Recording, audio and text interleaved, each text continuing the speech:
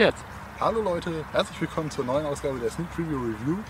Erst einmal danke für 500 Aufrufe der Videos bisher.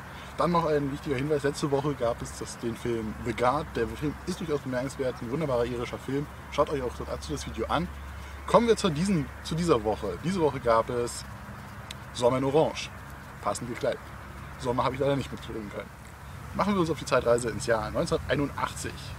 Anhänger der Backwaren-Sekte aus Berlin-Kreuzberg beschließen, in Bayern, in Teilpichel, ein Therapiezentrum aufzumachen und mit ihren Kindern dorthin umzuziehen. Und dann kommt es natürlich zu dem, dass die Kinder dort zur Schule gehen müssen. Berliner Kinder aus der Backwaren-Sekte in, einem bayerischen, in einer bayerischen Dorfschule. Das führt zu gewissen Konflikten und äh, ja, die Erwachsenen der Backwaren-Sekte sind alle sehr interessiert an verschiedenen Dingen, nur eigentlich nicht am Familienleben. Sex ist wichtig, Nacktsein ist wichtig, Selbstfindung ist wichtig. Deswegen geht man auch ohne seine Kinder auf irgendwelche Seminare, kommt wieder. Die Kinder kommen dann auf die Idee, hm, wir wollen so ein bisschen an dem Leben hier im Dorf teilnehmen. Deswegen äh, versuchen sie in verschiedenen Vereinen Mitglied zu werden. Sie haben natürlich auch ein bisschen was mit Fremdsprachenproblemen zu tun, denn ja, natürlich, die Menschen im bayerischen Dorf sprechen alle bayerisch.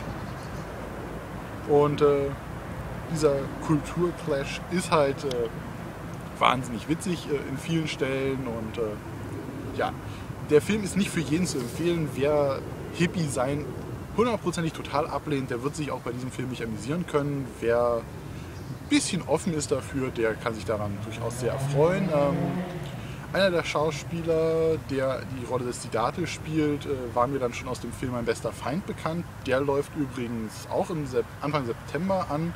Jetzt habe ich mal ein Video gemacht, das war schon im Mai, könntet ihr euch auch angucken. Dieser Film jetzt läuft äh, am 18. August an, also auch bald.